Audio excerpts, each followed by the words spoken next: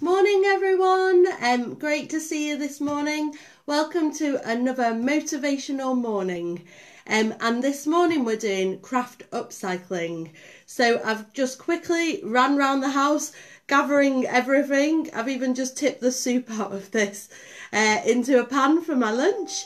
Um, so we've got craft upcycling uh, this morning. So you need we're going to do something with these cans. We've also got some toilet rolls.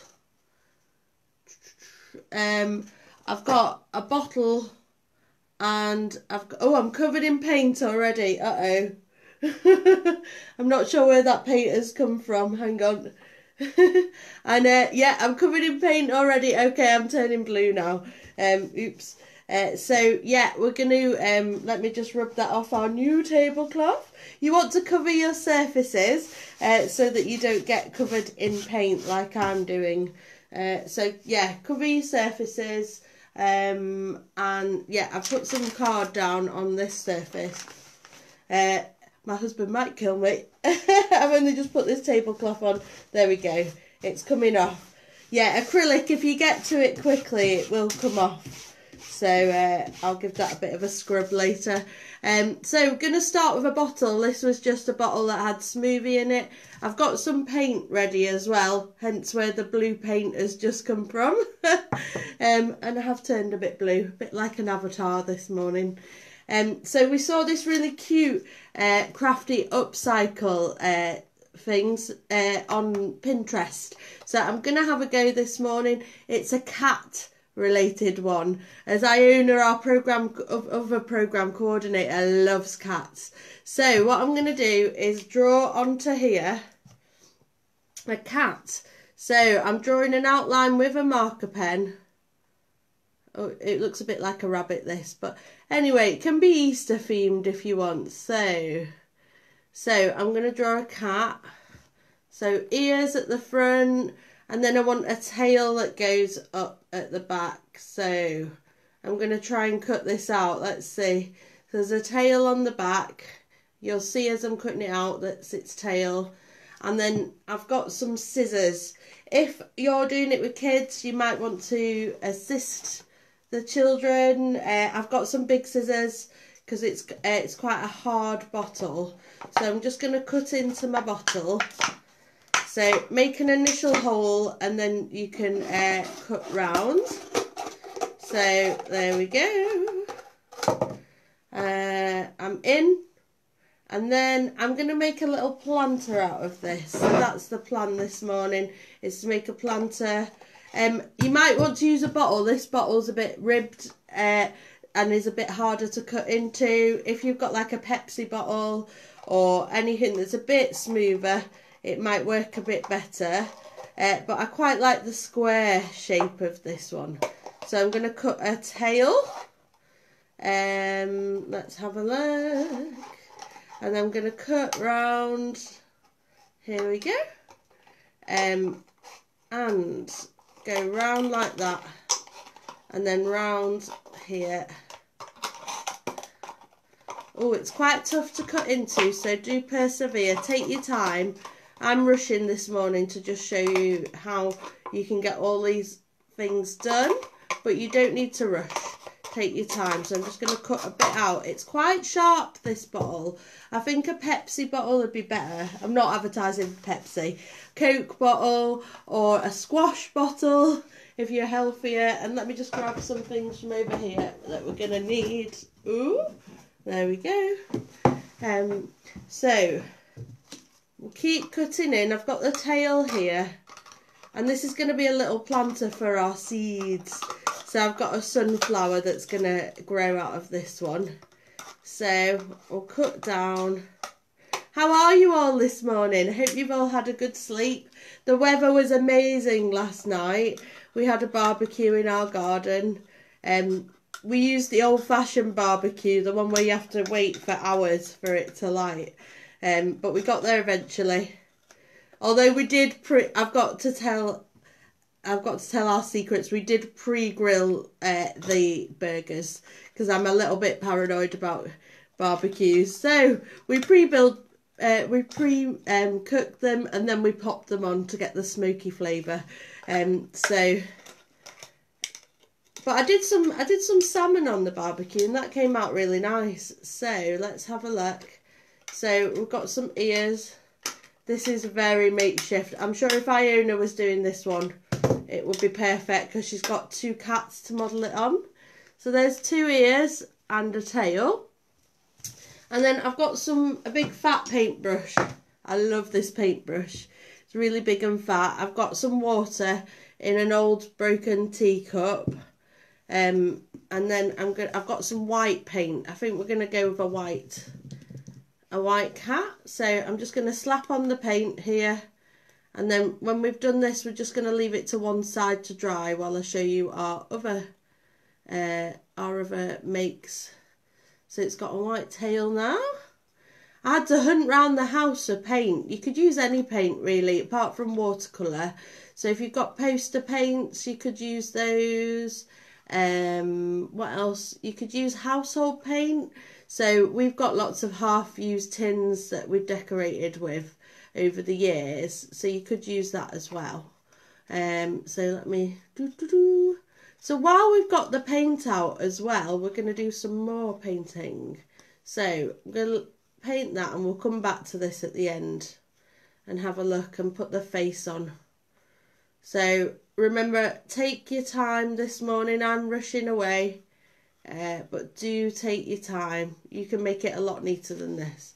But this is, uh, so there's our cat. Um, so I'm going to put him to one side to dry. Um, so I'll pop him on some card on our table to dry. So there we go. Um, so another crafty thing I saw, I'm covered in paint now, I'm going to give up, um, was using toilet roll tubes.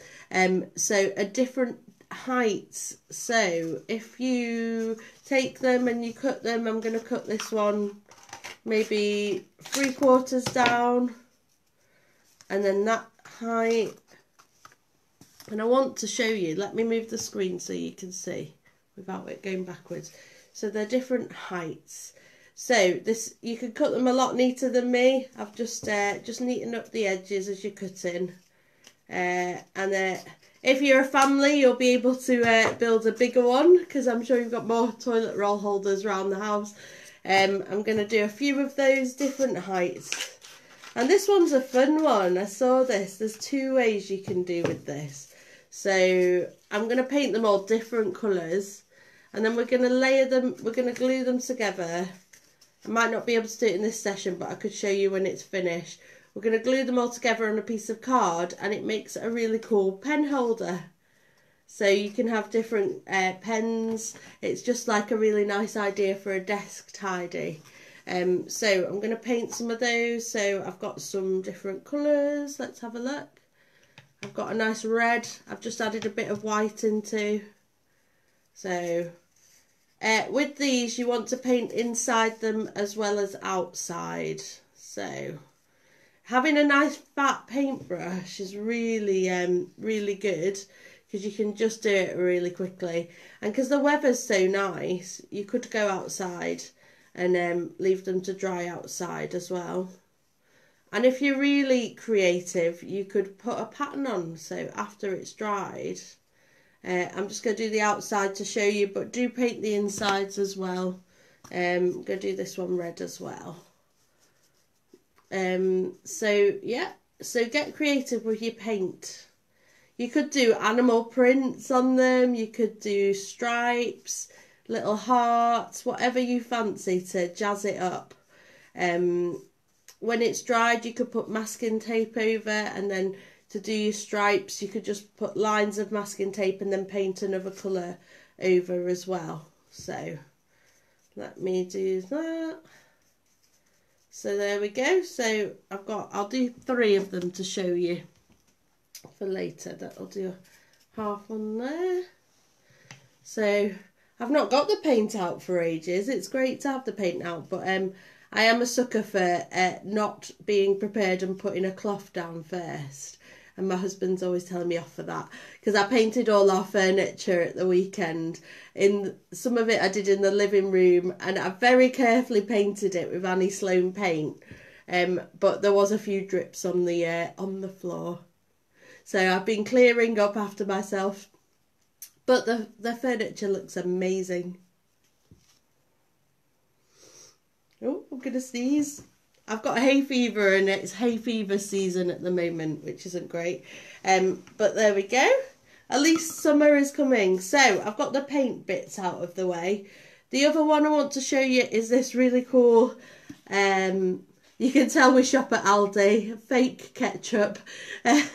um, so I, I made him finish this on the barbecue last night. So we like squirted so much on our, our burgers so we could use this today. I'd seen this uh, hack online. So this is a way to make a bird feeder. So what you need to do is chop off the top.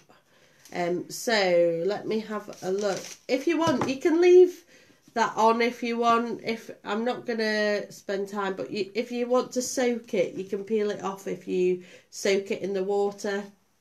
And um, so let's have a look. So I'm gonna just cut. I think the best way to probably cut into it I'm gonna, it's a bit thinner here where this ridge is. So I'm gonna, I'm just gonna stab it with the scissors, but do this very carefully.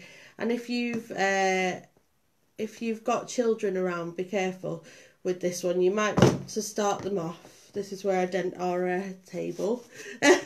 you might want to put, actually, before I dent our uh, dining table, which I think might be too late. Um, so hang on. Let me uh, put a mat under. it. So I've got this old mat that we put candles on. So put something that's not going to get ruined underneath. Um, so, and then you can, you might want to just scratch into it a bit. It's quite hard to get into this one. I wonder what else we could use. Actually, let's have a look. If you've got a cutting knife, this would be the time I'm going to use my other scissors. I've got my lovely birdie scissors. They might be easier to make a, a hole. Maybe some nail scissors. So this is the challenge is how to cut in. I think once we're in we can cut round. Oh yeah, we're in. So yeah, be careful if you're doing this with um, children. Um, just start them off. And sometimes the plastic can be a bit sharp, so just take it easy. Um, so I'm going to just follow that ridge around the top. There we go. There we go. So, cool. So I've cut the top off. That took some effort. I'm going to move this out of the way. Um, yes. So, and then I'm going to neaten the top up. It's a lot easier once it's off to then neaten up the edge so it's not so splintery. And this is a really cool one because I don't know if you've got a tree in your garden that you could um, that you could hang it from. Um, you could put uh, some bird feed in it. What I'll do is I'll take a picture of everything when it's finished. Um, so I've got that. I'm going to put my bird food in there. Uh, and I want to put a hanger in it so that it hangs from the tree. So, again, I'm going to bring my mat back. I'm not risking uh, denting the table. So, uh, we want to put a hole in either side. So, ooh, you might want to. I think the better way to do this would probably be to use a nail and a hammer, actually. Uh, or some sharper scissors. So I'm going to keep doing this. This doesn't look very uh, health and safety. So yeah, just do it in the best way that you can find. Uh, probably a less dangerous way than this. Um, so there we go. Oh, I'm coming through. That's great. It, I can feel it coming through. So persevere. I think sharp nail scissors will probably be the way forward. There we go. We're putting a hole in it like that. So it's got a hole in the side. Um, I've not done a Blue Peter again this morning. Usually I've got one that I'd say, here's one I did earlier. Uh, but we've not this morning. We're just going for it. Uh, there we go. And I'll put a hole in the other side. Great. So we've got two holes. Um, and then you need some uh, twine. I'm going to grab... We've got the garden twine that we used. Oh, thanks for the light, guys. Um, we've got garden twine, so I'm going to get the garden twine out. Um, oh, that one was like a workout trying to get that sorted. Uh, but we're there. So, um, and then twine, I'm just going to take some twine. I might double twine it. And you're basically making a loop to hang it onto the tree. So I've got two, two layers of the twine. And I'm just going to cut that. So, uh, my uh, wreath that I did last week is still going strong on our front door. Oh, I did it. I'm losing the track. I did it on Monday. It's uh, still looking good on the door. I've given it a spray of water to keep it going. Um, so I'm just tying in the twine here. So I have to do some bird watching and get a photo with the birds eating the seed out of it. So there we go. I'm just going to cut that little bit off there. And then I'm going to tie twine on the other side to, to match. I gave this a good wash out um, before I did it. So there's no uh, ketchup still in it. And then I'm going to tie that off.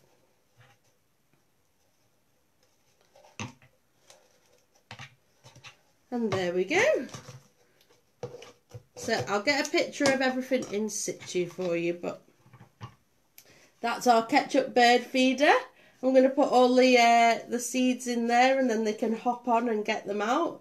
It'll be great. Um, so we've got that. Um, let's have a look what else I've got. Oh, my cans. So I'm going to move all the painty stuff really out of the way because um, I don't want anything to get covered so I'm going to just turn that piece of paper over. And then I've got this really nice um, paper. So this paper I think it was Paperchase. I love Paperchase papers. I don't know about you guys. Uh, this is some really nice paper um, and I'm going to cover it so it looks like this. So hang on. Ooh. so I'm going this was a Pringles tub that I covered in the paper and I thought it looked really cool as a pen pot. Um, so I'm going to use one of our Heinz ketchup uh, cans and cover it in this. So what you want to do is you want to measure the distance. So from, I'm going to leave the rim on because I want to see the silver rim. So I'm going to measure in between and it's 10, it's 10, 11, uh, 10.3 10.3 centimetres. So take your paper and you're going to measure 10.3.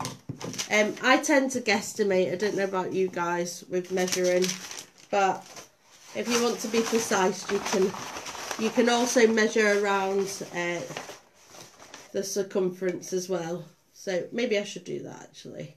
So it's 10.3 and then all the way round. You want a lip to overlap it though. So probably a tape measure would have been better for this part. So it's 20,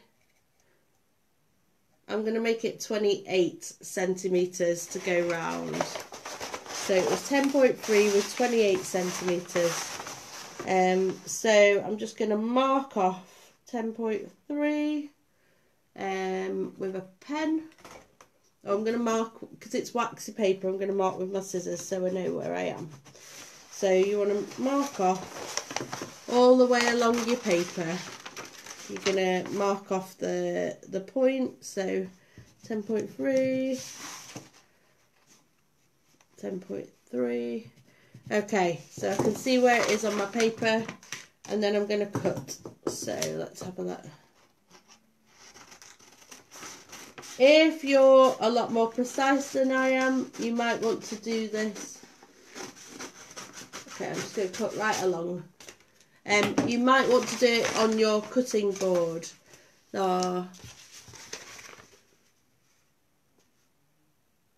oh? What's that, Catherine? Sorry, I'm just reading Catherine's message. Would you talk? Oh, you can take off the can label. I'm being super lazy. I quite like the red actually. So even if you see a little bit of the red, it depends. Uh, it depends if you want to see the red or not. I don't mind having a little edging of the red. Um, but you can take it off if you're being if it doesn't match your colour scheme. Um, but I quite like I quite like a little nod to what it was before. Uh, but it's up to you how you want to do it. Um, so I'm gonna I'm gonna leave mine on because I'm being lazy. Also, I ran out of time because I poured the soup into a pot for my lunch. If I had more time, you'd soak the cans in water, and that would loosen the glue on the paper, and you could take it off a lot easier. So I'm also being a bit lazy. Uh, but there we go. So, um, but we've got one more minute, so let's have a look and I'm just going to be uh, I'm just going to get that straight. So I'm just going to um, sellotape down that edge um, but you can sellotape sort of if you double side if you've not got double sided sticky um, you can. Let me find my sellotape. What have I done with my sellotape? Look I'm not gonna, I can't find my sellotape, ever so professional. So what I'm gonna do, you can either glue down that edge or you can double side your sellotape. So if you loop it the wrong way round, so the sticky side's on the outside, you can just sellotape that down. And there you've got a nice new pen holder. Woohoo! So you can put all your pens in it.